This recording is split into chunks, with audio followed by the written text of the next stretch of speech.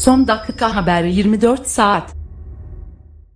23 Şubat 2018 4.53 Son güncelleme 23 Şubat 2018 eksi 6 bölü 51 A Manisa'nın Alaşehir ilçesinde bir otomobilin yol kenarındaki tıra çarpması sonucu 3 kişi öldü, 2 kişi yaralandı. Alınan bilgiye göre, Salihli'den Alaşehir istikametine seyreden ve sürücüsünün kimliği henüz belirlenemeyen 45'ta 7884 Plakalı otomobil, Derbent Mahallesi yakınında kontrolden çıkarak yol kenarında duran Mehmet İnal idaresindeki 45 VY 421 plakalı tıra çarptı. Kazada, otomobilde bulunan ve kimlikleri henüz tespit edilemeyen sürücü ile iki yolcu olay yerinde hayatını kaybetti.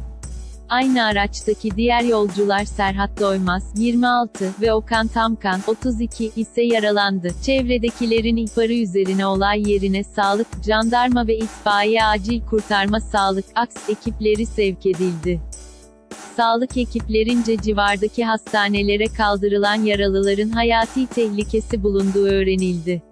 Cesetler, olay yerinde incelemeler tamamlandıktan sonra İzmir Adli Tıp Kurumu morguna gönderildi. Tır sürücüsü ise ifadesine başvurulmak üzere Alaşehir Jandarma Komutanlığı'na götürüldü. Bu habere ifade bırak bir mutluyum bir şaşkınım bir kararsızım iki kızgınım bir üzgünüm toplam oy altı etiketler Tır Kazamanisi Alaşehir.